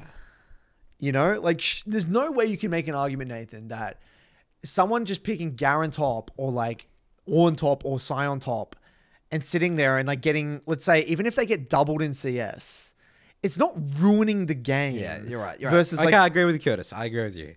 I think that junglers, if you're secondary jungler, I mean, you're no, I wonder if that's what you believe. No, now thinking about it, you're right. Yes, you, there can be jungle gap. I guess is a thing in a way compared to other roles. Because again, like I mean, eh, I mean, uh, if, if you were to play, let's let's say again, secondary role, you don't have to have like a, a you don't even have to have a fifty one percent or fifty percent. You can you can climb still, and your secondary role is like a forty five. you can, yeah, you can lose more than you win and still. So I'm just trying to think like if you're playing like a full clear AFK farm jungler, you're if you win forty five percent of the time with it, I think it's so. I think it's so dependent on the individual. think about stats and like Because like there are people in my program that have so much success with jungle, Yeah, really. and they barely play it. Like I got a guy named Zelu, and he ba- he never played jungle before. Picked up Briar jungle, gets like diamond with it. Just just do doesn't know, know anything about the role. Yeah. Yeah. I've, got that- I've, had that with heaps of clients. They just Yeah. pick they, and they say jungle's like the easiest role or some shit because you know why they view it through their lens because they've already got great mechanics. They've already got That's great right, skirmishing. yeah. They already have the champ mastery Yeah. on that champion. So if they know how to fight well and they have the champ mastery, they can make it work. Hmm. So like you know, and they're probably already smart. They know macro and they know all the, the stuff about the game. So I think I think it depends on the underlying skill set. Like, look, I see where you're coming from, but like I think I'm just thinking from the average player. Like from for someone who's been in the Mid Lane Academy, who understands the game well, they understand Wincon's role. Like they they understand the basics of the game pretty well. Like they could probably jungle and not die and like skirmish well and be pretty impactful. But I'm talking about the average player who doesn't think deeply about the game, you know? So I think it really depends on the person. I think there are some people that would could sit there full clear on Ekko jungle and have a lot of success. There are some people that could sit there and full clear on a on a jungle and just be useless and they they couldn't make it work. So I I, don't know. Well, you still, that's what I'm saying. You still can because you're going to get, even if you have a 40,000 win rate, you're going to at least have maybe, you only need like one or two winning lanes and then enemy jungler stuffing up a couple of times to just auto win those games. So Yeah. you can auto win certain amount of I games just- with jungle if you have some competence. Oh, look, I, again, I'm, I'm just want to loop this all back to what I first said. I just personally think that, I just personally think that, like you, you should at least go through one stint of learning the. role. yeah, yeah. I yeah. think that's so valuable. All right, man. cool. So uh, going back to the roles about you know reviewing your secondary role. Uh, let's just go back what I did. I I again I did the exact thing back in 2019 or whatever. I I did a support only account. I climbed to like diamond two. Right. Remember that? Yep. And so I did. I put in effort into it, my Yeah, secondary you role. did that, and then that gave you a baseline foundation Yeah. to work with, and then you can just like whatever it, Yeah. for a while, you Yeah. know. And then usually it catches up to you, and then you've got to revisit it because the game changes. But like you know, every now and then you got to do an update. It's like updating the iOS on your iPhone or some shit. But I don't actually review the vods of my support games at all. Nah, and that who knows? That could be. I mean, I've, I come. i think i'm think I'm currently sitting at 39 percent with Nautilus, so that's probably really subpar for a secondary role win rate. Again, I think 45 percent would be good. Um, you know, if I got up to a 40,000 win rate, I could be like 1k LP. You know, that's a pretty big difference. Yeah, I feel like your secondary role holds you back a You lot. back. So maybe I need to go back and. But again, what I would do is I wouldn't just like play here. I'll invest time. You gotta Like, invest time. you- I don't think you should just. I, I wouldn't review. I wouldn't review it if it's like one in every No, no ten point, games. I feel like. but you would you would want to. you only review if you're actually going to commit correct time to it's it. It's not worth it. No. It's just not worth it. Yeah, but I don't know. I don't know. I could be. I. I, I actually. I know I'm biased because like I've had. I'm. Yeah. I like you said. I'm very sensitive to autofill junglers. It's just my weakness. I've got. I've got this some. Uh, there's certain kryptonites out there for me. I've got my. Krypton, yeah, you got. I've got my crypto. I, I get really, I get really upset actually. Like I know this is a weakness of mine when, when um, when like in draft, like if they don't swap, if like the jungler or AD carry doesn't swap, Ah, I see. like I, I get actually upset. yeah, It like tilts me. yeah. Um, or like if a jungler picks Nidalee. Yeah. Um, I've got my own kryptonite. Everyone has their kryptonite. Everyone has their kryptonite. I've got my kryptonite. They've got so many negative experiences. They've created narratives around that. yeah, I've got. I've, I've got narrative. I'm, of course, wor- I'm working does. on it. I'm We're working, on it. working on it. You're a work in progress, Curtis. I've got my narratives. That's for sure. I'll tell you one that's recently popped up with me: Thresh support. In terms of good or bad. Bad. I, I think Thresh support is. I, I I think I've. I definitely would have a negative rate. As in, as in, like, you on your team. Yeah, on my team, They're- it's they're a very hard game. On the enemy team, it's a free win. Oh, right. Yeah, that's my current narrative. right. Interesting. I think Thresh is like the hard, Thresh is like the needle of support in my eyes. Interesting. Uh, as in, like, a lot of people think they can play it when Yeah, they can't. no. Yeah. Yeah, I can see that. Yeah. I, I'm starting to develop a little bit of a narrative with Senna. I feel like that champ's like just really good. Like when it's played well, I think it's goddamn good. I think it can. You can be the most useless champion in the game. Yeah, and it's all the lenses we look through. Yeah. You know. All right. Well, there we go. It was an interesting discussion to end the podcast with Curtis. Share us your kryptonite. Yeah, share with in the comments your Kryptonite in League of Legends. That will just turn to a cesspool. Do not do that. Do not do that. Yeah, it's negative. Good work, guys. Let's keep on improving, and we'll see you next week.